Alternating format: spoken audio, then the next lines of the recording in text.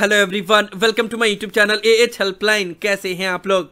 सो so, जैसा कि आप लोग को पता है कि इग्नू में हर साल एकेडमिक काउंसिल का मीटिंग होता है जिसके हेड होते हैं इग्नू के वाइस चांसलर जिसमें सभी बड़े बड़े डिसीज़न लिए जाते हैं। नाउ इस बार जो एकेडमिक काउंसिल का मीटिंग 13 जून 2022 को कंडक्ट करवाया गया उसमें एक और बहुत बड़ा डिसीज़न लिया गया है और ये डिसीज़न को इग्नू में इंप्लीमेंट करने का फैसला किया गया है। हालाँकि यूजीसी ने दो डिग्री एक ही साथ एक ही टाइम पे सेम यूनिवर्सिटी या अदर यूनिवर्सिटी से करने के लिए ऑलरेडी ready तेरह अप्रैल को गाइडलाइंस रिलीज़ कर दिया था, लेकिन इग्नू में उसको अभी तक इंप्लीमेंट नहीं किया गया था और इग्नू की तरफ़ से उसको लेकर डिटेल गाइडलाइंस रिलीज़ नहीं की गई थी कि किस तरीका से ये चीज़ें इंप्लीमेंट होगी, जो कि अब इस नोटिफिकेशन के ज़रिए पूरा गाइडलाइंस रिलीज़ कर दिया गया है। जिसके बारे में हम लोग इस वीडियो में डिटेल में बात करेंगे। आप लोग वीडियो को ध्यान से और कंप्लीट ज़रूर देख लीजिएगा। एच हेल्पलाइन चैनल पे फ़र्स्ट टाइम आए हैं तो इग्नू के रिलेटेड हर एक ट्रस्टेड इन्फॉर्मेशन पाने के लिए चैनल को ज़रूर सब्सक्राइब कर ले और इग्नू के रिलेटेड किसी भी तरह के डाउट के लिए आप लोग मुझे कभी भी कॉल करके अपना डाउट क्लियर कर सकते हो। ज़्यादा इन्फॉर्मेशन के लिए कैसे कॉल करना है ऊपर कार्ड में दिया वीडियो की लिंक चेक करें उससे आपको समझ में आ जाएगा। ना एकेडमिक काउंसिल की मीटिंग जब भी होती है तो उसमें डिसीज़न तो बहुत सारे लिए जाते हैं, उसमें से कुछ गुड न्यूज़ होता है, कुछ बैड न्यूज़ होता है। इससे पहले ऑलरेडी दो बड़े बड़े डिसीज़न लिए गए हैं क्रेडिट ट्रांसफ़र को लेकर और मल्टीपल एंट्री और मल्टीपल एग्जिट को लेकर, जिसके बारे में मैंने ऑलरेडी आप लोग को वीडियो के माध्यम से बताया हुआ है, ठीक है? लेकिन अब जो डिसीज़न लिया गया है, ये भी बहुत सारे स्टूडेंट का पेंडिंग डिमांड था और यह बहुत अच्छा खबर है वो सभी स्टूडेंट के लिए जो ज़्यादा से ज़्यादा एकेडमिक क्वालिफिकेशन हासिल करना चाहते हैं कम टाइम में, क्योंकि अब इग्नू में दो अंडर ग्रेजुएट और दो पोस्ट ग्रेजुएट यानी कि दो बैचलर डिग्री और दो पोस्ट ग्रेजुएट डिग्री एक ही साथ, एक ही टाइम पे करना अलाउ कर दिया गया। लेकिन यहाँ पे कुछ टर्म एंड कंडीशन है इग्नू का। इग्नू कोई भी चीज़ इंप्लीमेंट करता है तो अपना खुद का टर्म एंड कंडीशन लगा देता है। हालाँकि यूजीसी ने ये सभी टर्म एंड कंडीशन नहीं लगाए थे जब उन्होंने जब ये अनाउंस किया था कि हाँ दो डिग्री आप एक ही साथ, एक ही टाइम पे कर सकते हो तो लेकिन इग्नू ने जब इसको इंप्लीमेंट किया तो उसमें इग्नू का, क्योंकि एकदम पूरा अलग रूल्स एंड रेगुलेशन है तो उसमें इंप्लीमेंट करने में कुछ तो चेंजेस होते हैं। ना क्या क्या इग्नू ने चेंजेस किया है और नोटिफिकेशन में क्या क्या बताया उसको समझ लो। ना सबसे पहला नाउ पॉइंट में तो ये बताया गया है कि कोई भी स्टूडेंट अगर कोई एक बैचलर डिग्री या मास्टर डिग्री किसी रेगुलर यूनिवर्सिटी से कर रहा है तो एट द सेम टाइम वो इग्नू से भी कोई भी बैचलर डिग्री या मास्टर डिग्री कर सकता है, ये अभी अलाउ कर दिया गया है और इसी सेशन से ही अलाउ कर दिया गया है। ये अभी आप लोग जो फ्रेश एडमिशन ले रहे हो जुलाई 2022 सेशन के लिए तो जब एडमिशन स्टार्ट किया गया था, उस वक्त ये चीज़ अलाउ नहीं था। उस वक्त जो एडमिशन फैक वाला जो ऑप्शन है फ्रिक्वेंटली आस्क क्वेश्चन उसमें ये चीज़ मेंशन किया गया था कि आप सिर्फ़ एक सर्टिफिकेट और एक डिग्री कर सकते हो, लेकिन दो डिग्री एक साथ नहीं कर सकते, ठीक है? लेकिन अभी इस चीज़ को इंप्लीमेंट कर दिया गया है तो जुलाई दो हज़ार बाईस सेशन से ही अगर कोई स्टूडेंट कोई रेगुलर यूनिवर्सिटी से कोई भी डिग्री कर रहा है तो at the same time IGNOU से भी वो कर सकता है। बस यहाँ पे एक ही चीज़ बताया गया है कि अगर रेगुलर यूनिवर्सिटी का जो आप एग्ज़ाम दोगे, उसका एग्ज़ाम के डेट में और इग्नू के एग्ज़ाम के डेट में अगर क्लैश हुआ तो उसमें इग्नू रिस्पॉन्सिबिलिटी नहीं लेगा। वो आपको मैनेज करना पड़ेगा कि वो एग्ज़ाम देना है या ये एग्ज़ाम देना है, या दोनों का डेट में से कुछ पेपर को छोड़ के कुछ पेपर को नेक्स्ट सेशन में देना पड़ेगा। लेकिन अभी आप रेगुलर और ओपन से दोनों से ही कर सकते हो, चाहे ओडियल मोड में हो या ऑनलाइन मोड में हो।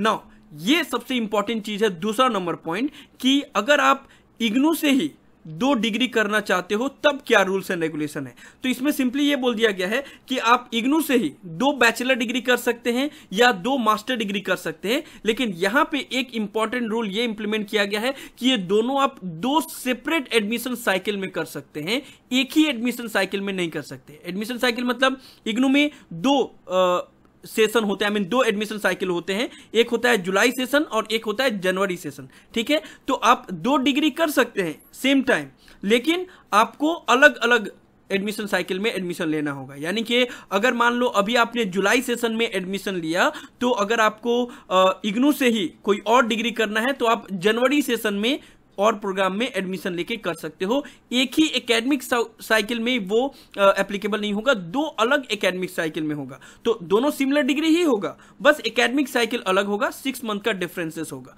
ठीक है?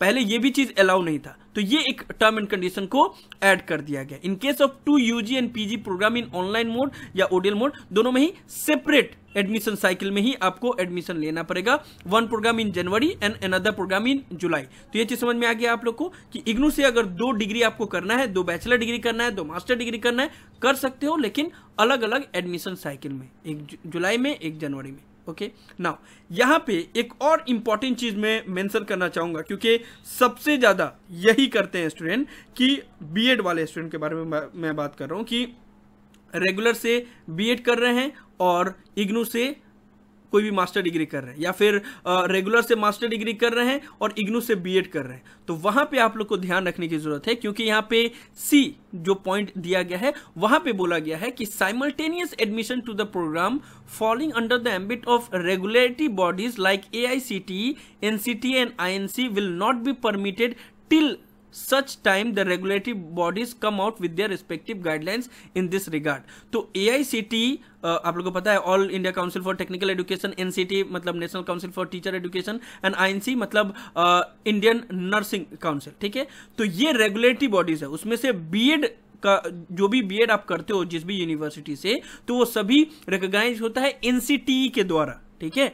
तो इग्नू ने ये बोला है कि अगर ऐसा प्रोग्राम आप कर रहे हो जो ये तीनों रेगुलेटरी बॉडीज के अंडर में आता है। जैसे इंजीनियरिंग कर रहे हो तो वो एआईसीटी के अंडर में आएगा। एनसीटी बीएड कर रहे हो तो वो एनसीटी के अंडर में आएगा। अगर कोई बीएससी नर्सिंग कर रहे हो तो वो आईएनसी के अंडर में आएगा। तो ये रेगुलेटरी बॉडीज के अंदर में का कोई अगर प्रोग्राम है तो उसके लिए ये परमिसिबल तभी होगा दो डिग्री जब एनसीटी या आईएनसी या एआईसीटी अपने तरफ़ से गाइडलाइंस रिलीज़ करेंगे तब।